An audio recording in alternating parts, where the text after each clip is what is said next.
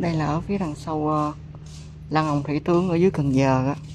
Nó có một cái bệ để cho mình nhìn cái view ngoài biển như vậy. Ở dưới có mấy cái con gì nó dài dài nó bơi kìa. Đó có con gì nó dài dài á. Không biết cái đó là con gì. View biển nè.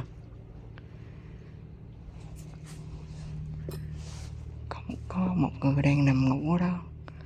Quấn chăn nằm ngủ luôn.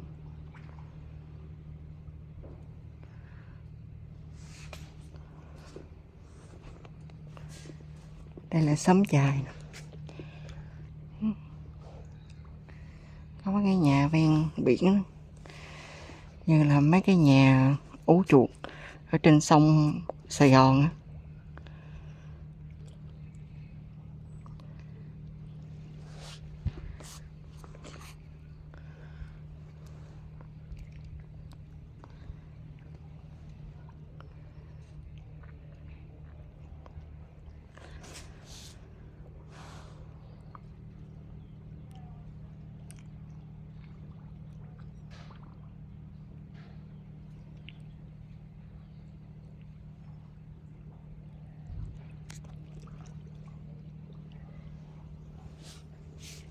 Nó vậy thôi hết rồi.